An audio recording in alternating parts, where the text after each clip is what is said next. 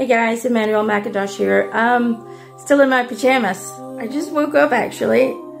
Um, and I wanted to share a message that I got in my dream um, from my team. And they just, I mean, it was a really short message, but basically what they were saying is, um, prepare yourself because the weather is not going to act normal because um, the elites, the the ones who want to control us, are at their final game. It's like they they they've run out of fuel. They have nothing left for us to believe.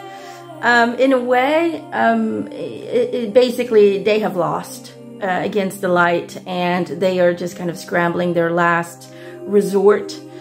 Uh, because everything they want to do, we've we know already, oh, they're going to do Project Bluebeam. Okay, yeah, well, we already know about it. So what else you got?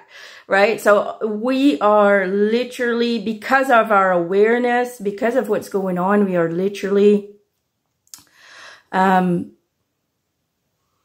basically dismantling everything they have in store for us. Does that make sense? I mean, you know, they wanted to do Project Bluebeam, but everybody's already aware of it. And so our awareness makes it, um, makes it invalid. It, it can no longer exist. It can no longer be because we are dismantling it with our awareness.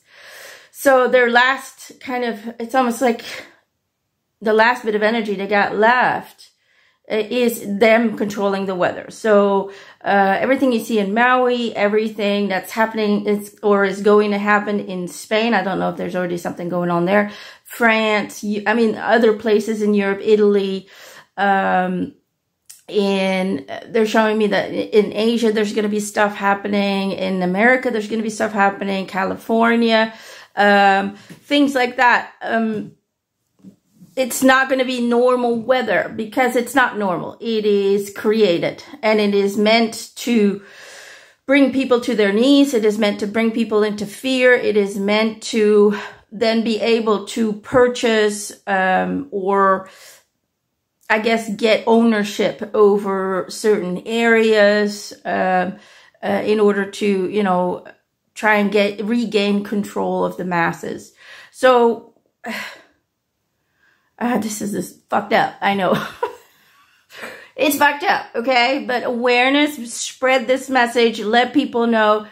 Um, with awareness, we can stop them from pursuing and continuing um, these fake weather uh, patterns. Okay, this is not not this is not nature. This is not Mother Earth.